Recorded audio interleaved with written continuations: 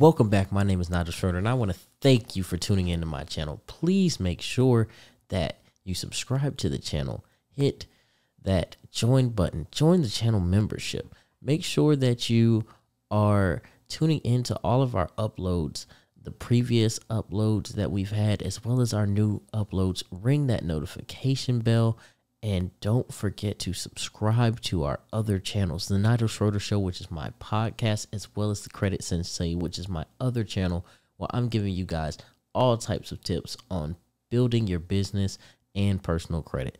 The Cash Couple is another great channel that we have where you're going to get to see some behind the scenes action with myself and Crystal.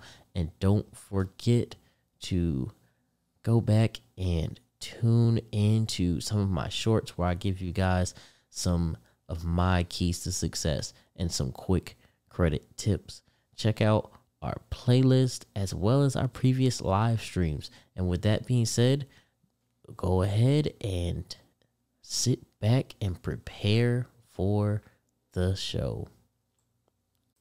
All right, welcome back, you guys. And today I want to kind of make a long form video of my credit secrets part one series. So I'm going to be doing this series in shorts, and then I'm going to be coming back bringing you guys these same videos in long form to give you an explanation of the short that you saw. So if you saw the short already and you kind of weren't too sure about the information in the short, now you're going to be able to take that information from the short and really understand what's going on and how it's going to impact you on your credit journey.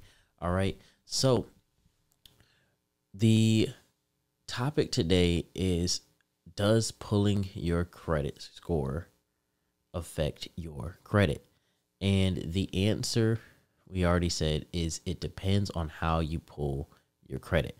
All right. So, there are websites that allow you to pull your credit and check it personally to monitor your credit. So rather that be through your bank account, um, whether that be through Credit Karma, Experian, um, Credit Sesame, um, my annual report, whatever website you use, Identity IQ, my FICO, the list goes on and on.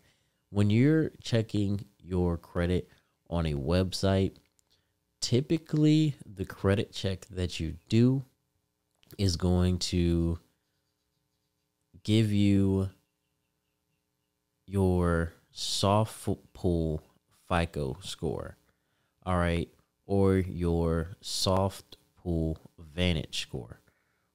But it's not going to do what is called a hard pull.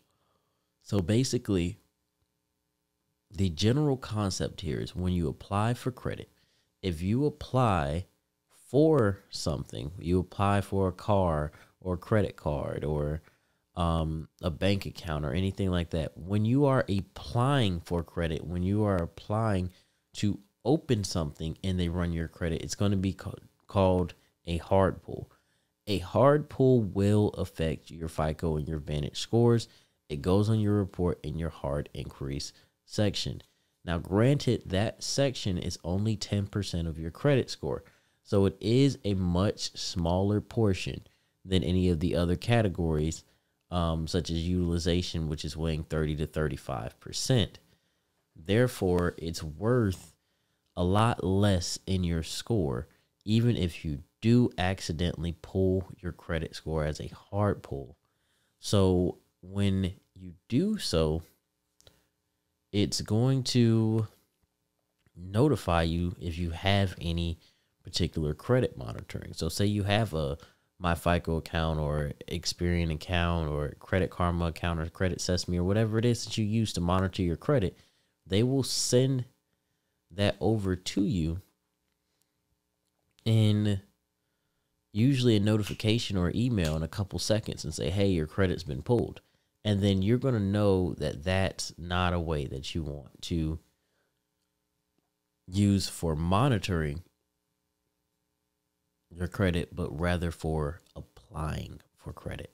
Okay, so that's going to be your big kicker there is when you are applying for credit, it's going to give you a hard pull. That's going to go on your credit report. that's going to affect your credit score. When you are monitoring your credit or looking at your credit score without applying for anything, that's typically going to give you a soft pull and is not going to affect your credit score. If you're still unsure, like I said, stay safe. Use the sites that I've already named.